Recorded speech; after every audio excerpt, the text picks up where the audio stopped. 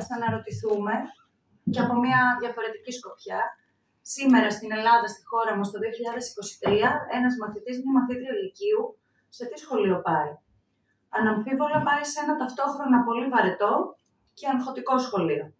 Πώς είναι η καθημερινότητά τους; Λέμε ότι είναι χωρίς ανάσα, σε μια διαδρομή ε, ίδια σταθερή κάθε μέρα, σχολείο, φροντιστήριο, σπίτι. Διάβασμα, διάβασμα, διάβασμα, μιας ατελείωτης ύλης που συχνά δεν έχει αρχή, μέση και τέλος. Οι μαθητές περνάνε τα σχολικά τους χρόνια με τη θηλιά του ανταγωνισμού των εξετάσεων. Μέσα σε αυτό το σχολείο, το σημερινό σχολείο, και όσο περνάνε τα χρόνια και πλησιάζεις προς την ώρα των πανελλαδικών εξετάσεων, χάνεται όλο ένα και περισσότερο ο στόχος να μάθεις σε αυτό. Για παράδειγμα, είναι χαρακτηριστικό να το σκεφτούμε, ακόμα και ο τρόπος με τον οποίο λειτουργούν οι πανελλαδικές εξετάσεις, για παράδειγμα, δεν έχει τελικά το πόσο μεγα... τόσο μεγάλη σημασία το πόσο εσύ θα γράψεις και πόσο καλά θα γράψεις. Σίγουρα πρέπει να γράψεις πάντα καλύτερα από κάποιον άλλον για να πάρεις την πολυπόθετη θέση στη σχολή που επιθυμείς.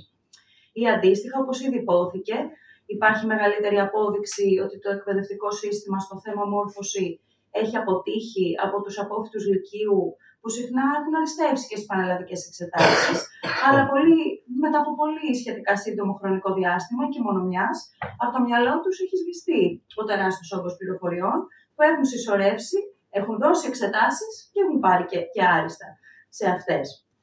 Το σχολείο τελικά, με βάση τον τρόπο που λειτουργεί, δεν αποσκοπεί κάτι που φαινομενικά είναι αυτονόητο στην ολόκληρη μόρφωση και γνώση, στη δημιουργία κριτηρίου σκέψης, στην ανακάλυψη και εξέλιξη των ταλέντων και των κλήσεων των μαθητών και των μαθητριών.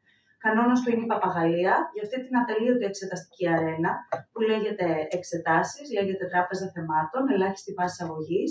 Τώρα λέγεται και πανελλαδικές εξετάσεις όλες τι τάξει του Λυκείου μέσω του Εθνικού Απολυτηρίου, που είναι στις προθέσεις της ε, σημερινής κυβέρνησης. Χιλιάδες μαθητές, πάνω από τους μισούς πια κάθε χρόνο, τα τελευταία χρόνια, δεν καταφέρουν να περάσουν τελικά σε κάποια πανεπιστημιακή σχολή. Άγχος λοιπόν, αυτή είναι η λέξη, γιατί χαλάρωση αντικειμενικά δεν υπάρχει ή υπάρχει πολύ λίγη λόγω του λίγου ελεύθερου χρόνου για την παρέα, για τη βόλτα, όπως αρμόζει σε αυτή την ηλικία και άγχος των συνεχόμενων εξετάσεων και άγχος ταυτόχρονα να βρεθούν λεφτά για τα φροντιστήρια για να βγουν οι εξετάσεις. Η αλήθεια είναι άρα δηλαδή πως η ίδια η σχολική ζωή, η καθημερινότητα, αυτές οι ώρες οι 7 στο σχολείο, στο 7ωρο, δεν κυλά πάντα πολύ ωραία παρά τις προσπάθειες εκπαιδευτικών, μαθητικών συμβουλίων για διοργάνωση αθλητικών, πολιτιστικών και ψυχολογικών δράσεων. Πρόσφατα, μια μαθήτρια σε μια εκδήλωση που έκανε η ΚΝΕ χαρακτήρισε τις ώρες στο σχολείο ως πολύ βίες. Και είναι λογικό, εντός εισαγωγικών, όσο ο πυρήνας του σχολείου είναι στην πράξη ο ανταγωνισμός ανάμεσα στους μαθητές, στο έδαφος μιας μόρφωσης που τελικά εξαρτάται σε πολύ μεγάλο βαθμό από την οικονομική δυνατότητα της οικογένειας του εκάστοτε μαθητή.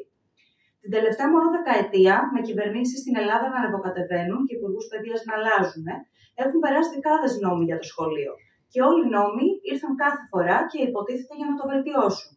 Η ζωή όμως και το σχολείο δεν άλλαξαν, δεν καλυτέρευσαν, το αντίθετο μπορούμε να πούμε. Ο ένας νόμος ήταν χειρότερος από τον άλλον και ο ένας άφηνε ανεξόφλητου λογαριασμούς στον επόμενο. Ανάμεσα σε όλα αυτά τα κόμματα του συστήματος υπάρχει ταύτιση στην ίδια πολιτική που θεωρεί τις ζωές, τη μόρφωση και το μέλλον της νέας γενιάς ως κόστος. Τα όποια χρήματα για την παιδεία διοχετεύονται με κριτήριο το τι τελικά περισσεύει, τις προτεραιότητες των επιχειρηματικών ομίλων, των δεσμεύσεων στο Ευρωπαϊκό Ταμείο, Ταμείο Ανάκαμψης και ούτω καθεξής, των ατοικών εξοπλισμών και ποτέ τις ανθρώπινες ανάγκες. Γι' αυτό και Σχεδόν δύο δις έχουν μειωθεί οι κρατικές δαπάνες για την παιδεία την τελευταία δεκαετία, ενώ ταυτόχρονα 2,7 δις ευρώ είναι αυτά που δίνουν από την τσέπη τους συλλογικέ οικογένειες κάθε χρόνο σε φροντιστήριο. Κάθε χρόνο είναι κενέ ώρες, αναφέρθηκαν και πριν ε, και στις προηγούμενες ομιλίες, ώρες και λήψη εκπαιδευτικών μέχρι και την άνοιξη, αφού η τεράστια πλειοψηφία των καθηγητών παραμένει αναπληρωτές. Ή όταν έρχεται ένας καθηγητής στο Λύκειο, μπορεί να είναι φυσικός, αλλά να κάνει τελικά βιολογία. Το ίδιο είναι και με τις συντάξεις, αφού οι καθηγητές κάνουν μάθημα σε αυτές τις τάξεις ε, έως και τα 67. Είναι το γεγονός ότι το 55% των σχολείων χτίστηκε την περίοδο 55 με 85, άρα οι σημερινοί μαθητές πάνε μάλλον στο σχολείο που πήγαιναν και οι γονείς τους. Και γι' αυτό βλέπουμε κάθε φορά που φυσάει να πέφτουν σοφάδες, κάθε φορά που βρέχει να πλημμυρίσουν και ότι την τελευταία δεκαετία, όπως αναφέρθηκε, είναι η κατάσταση με τα κοντέινερ παντού. Λέω στα προάγλια κτλ.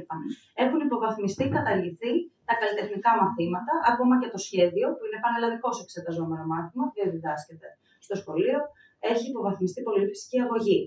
Σε αυτά τα δικά τους κενά πατάνε για να μιλάνε πια για τη λεγόμενη αυτονομία των σχολικών μονάδων, σε ό,τι έχει να κάνει με τη χρηματοδότηση της λειτουργίας τους. Οι διευθυντές μετατρέπονται σε μάνατζερ που κυνηγούν χορηγούς και επιδοτήσει. Με τι αντίτιμο είναι το ερώτημα; Ποιος χορηγός δηλαδή θα δώσει χρήματα με το αζημίωτο, για παράδειγμα; Και από αυτά να κρίνεται το αν θα κάνει ή όχι, για παράδειγμα, εκδρομή ένα σχολείο. Αν θα πάρει νέο τεχνολογικό εξοπλισμό; Τελικά, σε έναν βαθμό, η ποιότητα και το περιεχόμενο της εκπαίδευσης των μαθητών.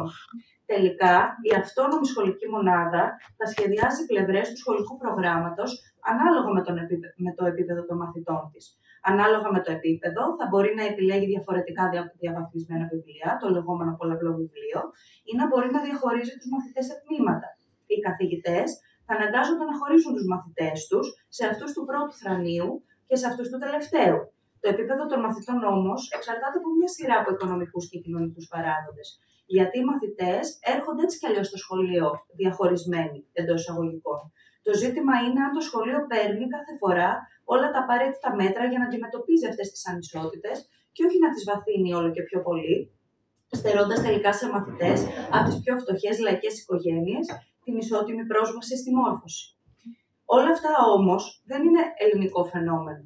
Την ίδια περίοδο που και στην Ελλάδα, για παράδειγμα, γίνεται ξανά και ξανά το λεγόμενο rebranding της τεχνικοεπαγγελματικής εκπαίδευσης, με μεγάλο άγχος όλων των κυβερνήσεων, ιδιαίτερα για τη μαθητεία και το πώς θα είναι ταυτόχρονα και πιο φθηνή, χρήσιμη για την εργοδοσία και πιο αποδοτική για την τοπική οικονομία.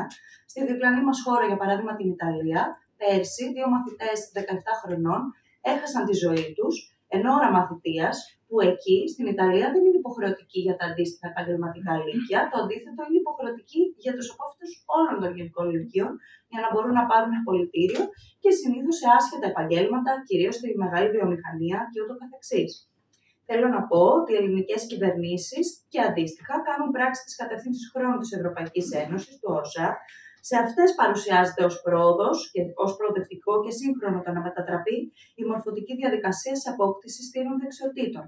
Να μαθαίνουν δηλαδή οι μαθητές συνεχώς και από κάτι. Η δικαιολογία τους είναι πως έναν κόσμο που αλλάζει, η νεολαία πρέπει να προσαρμόζεται.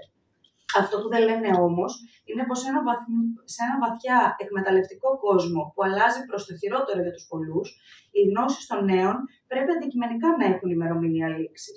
Να μαθαίνουν δηλαδή σκόρπια και αναλώσιμα πράγματα, αντί για στέρεο μορφωτικό, θεωρητικό και πρακτικό υπόβαθρο. Το σχολείο να βγάζει φθηνούς, εύκολα διαχειρίσιμους, μελλοντικούς εργαζόμενους.